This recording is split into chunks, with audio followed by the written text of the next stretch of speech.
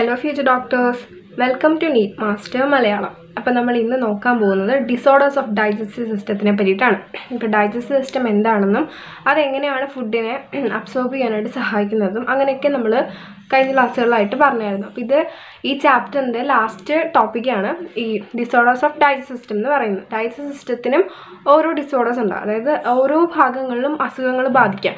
അതുപോലെ നമ്മുടെ ഡൈജസ്റ്റ് സിസ്റ്റത്തിനെ ബാധിക്കുന്ന അസുഖങ്ങളെക്കുറിച്ചാണ് ഇനി പറയാൻ പോകുന്നത്. Okay Then, the inflammation of the intestinal tract is the most common ailment due to the bacterial or viral infection. ബാക്ടീരിയയുടെ വൈറസിന്റെയും ഒക്കെ ഇൻഫെക്ഷൻ മൂലം നമ്മുടെ ഇൻഡസ്റ്റൈനൽ ട്രാക്റ്റിന് ഇൻഫ്ലമേഷൻ ഇൻഫ്ലമേഷൻ സംഭവിക്കുക. അതുപോലെ തന്നെ ബാക്ടീരിയ വൈറസ് മൂലം മാത്രമല്ല in tapeworm brown worm threadworm hookworm pinworm തുടങ്ങിയവ മൂലവും ഇൻഡസ്റ്റൈനിലെ ഓരോരോ ഇൻഫ്ലമേഷൻസും ഡിസീസസ് ഒക്കെ ബാധിക്കാനായിട്ട് സാധിക്കും. അപ്പോൾ ഫസ്റ്റ് വൺ ആണ് jaundice jaundice the liver is affected jaundice എന്ന് പറഞ്ഞു കഴിഞ്ഞാൽ എന്താണ്? മലയാളത്തിൽ മഞ്ഞപ്പിത്തം എന്ന് വിളിക്കും.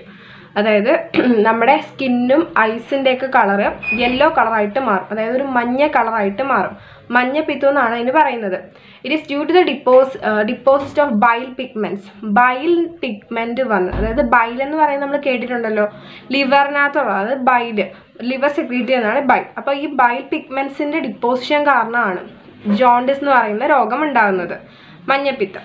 അപ്പോൾ അടുത്തതാണ് വൊമിറ്റിംഗ് വൊമിറ്റിംഗ് എന്ന് പറഞ്ഞാൽ നമ്മൾ കേട്ടിട്ടുണ്ട് ഛർദിക്ക ഛർദിൽ എന്നൊക്കെ പറയില്ലേ? അത് തന്നെ. അതാണ് vomiting it is ejection of stomach content through the mouth mouth വഴി നമ്മുടെ സ്റ്റൊമക്കിലുള്ള കണ്ടന്റ് പുറത്തേക്ക് പോകുന്നതിനെയാണ് വൊമിറ്റിംഗ് എന്ന് വിളിക്കുന്നത്. അതൊരു reflex action and is controlled by the vomit centre in the medulla മെഡുല്ലയിലുള്ള vomit ആണ് ഈ റിഫ് വൊമിറ്റിങ്ങിനെ കൺട്രോൾ ചെയ്യുന്നത്. സാധാരണ നമ്മൾ കഴിക്കുന്നത് മൗത്തിലൂടെ പ്രവേശിച്ചിട്ട് നമ്മുടെ സ്റ്റൊമക്കിലേക്ക് ചെല്ലുകയാണ്.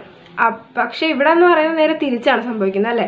സ്റ്റൊമക്കിൽ കിടക്കുന്ന മൗത്ത് കണ്ടൻസ് പുറത്തേക്ക് നമ്മുടെ മൗത്തിലൂടെ പുറത്തേക്ക് പോകുന്നതാണ്.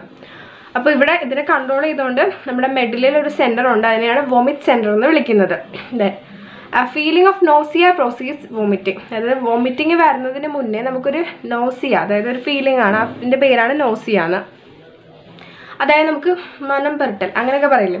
അതുപോലെ ഒരു ഫീലിംഗ് ഉണ്ടാവും. അതായത് ഇപ്പം നമുക്ക് വൊമിറ്റ് ചെയ്യണമെന്നൊരു ഇതുണ്ടാകുന്നത് ആ ഒരു ഫീലിംഗ് വരുമ്പോഴാണ്. അതിനുശേഷം നമുക്ക് വൊമിറ്റ് ചെയ്യും. അതാണ് പറഞ്ഞത് the feeling of nausea precedes vomit അടുത്തതാണ് ഡയേറിയ ഇപ്പോൾ ഡയേറിയ വയറിളക്കം the abnormal frequency of the bowel movement and increase liquidity of the faecal discharge അതായത് ബവൽ മൂവ്മെന്റ് അതായത് വേസ്റ്റ് ഡിസ്ചാർജ് ചെയ്യുന്നതിന് അബ്നോർമൽ ആയിട്ടുള്ള ഒരു ഫ്രീക്വൻസി വരുന്നു. അത് മാത്രമല്ല increase liquidity of the faecal discharge is known as diarrhoea faecal ഡിസ്ചാർജിന് liquidity വരും. അതായത് കൂടുതൽ കൂടുതൽ ഫീക്കൽ ഡിസ്ചാർജ് അത്രയും ലിക്വിഡായിട്ടല്ല പോകുന്നത്. സോളിഡ് ടൈപ്പിലാണ് അത് പുറത്തേക്ക് പോകുന്നത്.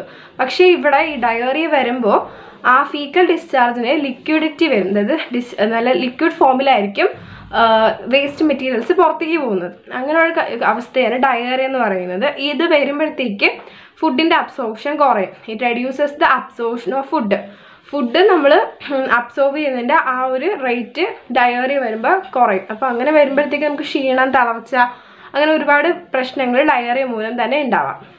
ഓക്കെ അപ്പം അതാണ് ഡയറിയ എന്ന് പറയുന്നത്.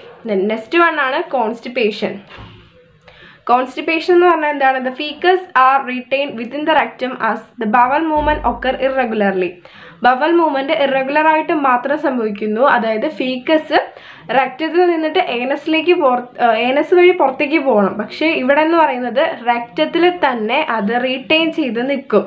അത് പുറത്തേക്ക് പോവാതെ നിൽക്കും. അങ്ങനെ ഒരു അവസ്ഥയാണ് കോൺസ്റ്റിപ്പേഷൻ എന്ന് വിളിക്കുന്നത്. അങ്ങനെ ടൈമിൽ ബവൽ മൂവ്മെന്റ്സ് ഇറഗുലർ ആയിട്ട് മാത്രമേ ഉണ്ടാവുന്നുള്ളൂ നെക്സ്റ്റ് അടുത്തതാണ് ഇൻഡൈജക്ഷൻ ഇൻഡൈജക്ഷൻ എന്ന് പറഞ്ഞാൽ ഡൈജഷൻ ഇല്ലാണ്ട് വരുന്നൊരവസ്ഥ അതായത് നമ്മൾ കഴിക്കുന്ന ഫുഡ് പ്രോപ്പറായിട്ട് ഡൈജസ്റ്റ് ചെയ്യാതെ കിടക്കുന്നതിനെയാണ് ഇൻഡൈജഷൻ ദഹനക്കേട് ദഹനമില്ലായ്മ എന്നൊക്കെ മലയാളത്തിൽ പറയും. ദ ഫീലിംഗ് ഓഫ് ഫുൾനെസ് അതായത് നമ്മുടെ വയറ് നിറഞ്ഞിതിപ്പോൾ പൊട്ടും. അങ്ങനെ ഒരു അവസ്ഥയാണെന്ന് തോന്നും. പിന്നെ നമുക്കൊന്നും കഴിക്കാനൊന്നും തോന്നില്ല. അങ്ങനത്തെ ഒരു ഇതാണ്. Feeling of fullness the cause of indigestion are inadequate enzyme secretion ഈ ഇൻഡൈജസ്റ്റ് വരാനുള്ള കാരണങ്ങൾ ഒന്നില്ലെങ്കിൽ ഇന്നഡിക്വേറ്റ് എൻസൈം സെക്രീഷൻ ആയിരിക്കും. എൻസൈം സെക്രീഷന്റെ പോരായ്മ മൂലമായിരിക്കും ചിലപ്പോൾ ഒരു കാരണം അതാണ്. രണ്ടാമത്തെ കാരണം ആൻസൈറ്റി അതായത് നമുക്ക് ഉത്കണ്ഠയൊക്കെ വരുമ്പോഴത്തേക്കും ഇൻഡൈജഷൻ ഉണ്ടാകും. മൂന്നാമത്തെ കാരണം എന്ന് പറയുന്ന ഫുഡ് പോയിസണിങ് നമ്മൾ കഴിച്ച ഫുഡിന്റെ ഇത് വെച്ചിട്ട് ഫുഡ് നമുക്ക് ഇൻഡൈജഷൻ ഉണ്ടാകും അതുപോലെ ഓവർ ഈറ്റിംഗ് ഓവറായിട്ട് നമ്മൾ ഫുഡ് കഴിക്കുമ്പോഴത്തേക്കും ഇൻഡൈജഷൻ ഉണ്ടാകും. സ്പൈസി ഫുഡ് കൂടുതലായിട്ട് കഴിക്കുമ്പോഴത്തേക്കും ഇൻഡൈജഷൻ ഉണ്ടാകും എന്തൊക്കെ കൊണ്ടാണ് ഇൻഡൈജഷൻ വരുന്നത്? Inadequate enzyme secretion anxiety food poisoning overeating spicy food ഇത്രയും കാരണം കൊണ്ടാണ് നമുക്ക് ഇൻഡൈജഷൻ ഉണ്ടാകുന്നത് അപ്പോൾ ഇത്രയാണ് നമുക്ക് ടെസ്റ്റിനകത്ത് ഡൈസിസ്റ്റത്തിനെ ബാധിക്കുന്ന ഡിസീസ് ആയിട്ട് പഠിക്കാനുള്ളത്. അപ്പോൾ ഒന്നുകൂടെ നോക്കാം.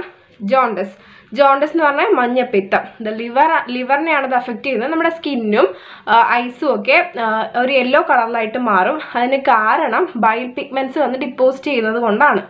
വോമിറ്റിംഗ് വോമിറ്റിംഗ് എന്ന് പറയുന്നത് നമ്മുടെ സ്റ്റൊമക്കിലുള്ള കണ്ടൻസ് മൗത്ത് വഴി പുറത്തേക്ക് എമിറ്റ് ഒമിറ്റ് ചെയ്ത് പോകുന്നത് അതായത് ഇജക്റ്റ് ചെയ്ത് പോകുന്നതിനെയാണ് വോമിറ്റിംഗ് എന്ന് വിളിക്കുന്നത്. അത് റിഫ്ലക്സ് ആക്ഷൻ ആണ്. അതിനെ കൺട്രോൾ ചെയ്യുന്ന ഒരു സെന്റർ ഉണ്ട് മെഡുല്ലയിൽ അതാണ് വോമിറ്റ് സെന്റർ ഒരു ഫീലിംഗ് ഓഫ് നോസിയം വന്നതിന് ശേഷമാണ് നമുക്ക് വോമിറ്റിംഗ് ടെൻഡൻസി ഉണ്ടാകുന്നത്. Then next one is diarrhoea diarrhoea abnormal frequency bowel മൂവ്മെന്റിന്റെ ഒരു അബ്നോർമൽ ഫ്രീക്വൻസി വരും. അതുപോലെ ഫീക്കസിന് ലിക്വിഡിഫൈ ചെയ്തിട്ടായിരിക്കും പുറത്തേക്ക് പോകുന്നത്. അപ്പോൾ അത് അബ്സോർഷൻ ഓഫ് ഫുഡ് കുറയ്ക്കും. ദെൻ കോൺസ്റ്റിപ്പേഷൻ എന്ന് പറയുന്നത് ഫീക്കസ് രക്തത്തിൽ തന്നെ റീറ്റെയിൻ ചെയ്ത് നിൽക്കും. ബവൽ മൂവ്മെന്റ് ഇറഗുലർ ആയിട്ടേ നടക്കുകയുള്ളൂ അതാണ് കോൺസ്റ്റിപ്പേഷൻ ഇൻഡൈജഷൻ എന്ന് പറഞ്ഞു കഴിഞ്ഞാൽ നമ്മുടെ ഫുഡിനെ പ്രോപ്പർലി അത് ഡൈജസ്റ്റ് ചെയ്യുന്നില്ല. അപ്പോൾ നമുക്കൊരു ഫീലിംഗ് ഓഫ് ഫുൾനെസ് ഫുള്ളായ പോലെ ഒരു ഫീലിംഗ് ഉണ്ടാവും വയറ്. ഇൻഡൈജഷന്റെ കാരണങ്ങൾ ഒന്നെങ്കിൽ ഇൻഅഡിക്വേറ്റ് എൻസൈം സെക്രീഷൻ ആകാം അല്ലെങ്കിൽ ആൻസൈറ്റി ആകാം അല്ലെങ്കിൽ ഫുഡ് പോയ്സണിങ് ആകാം അല്ലെങ്കിൽ ഓവർ ഈറ്റിംഗ് ആകാം അല്ലെങ്കിൽ സ്പൈസി ഫുഡ് ആകാം. ഇത്രയും കാരണങ്ങളുകൊണ്ട് നമുക്ക് ഇൻഡൈജഷൻ വരും. അപ്പോൾ ഇതാണ് നമ്മുടെ ഡിസോർഡർ ഓഫ് ഡൈജസ്റ്റ് സിസ്റ്റം ഇതോടെ നമുക്ക് ഈ ഡൈജഷൻ ആൻഡ് അബ്സോർഷൻ എന്ന് പറയുന്ന ഈ ചാപ്റ്റർ ഇവിടെ കഴിഞ്ഞു. Thank you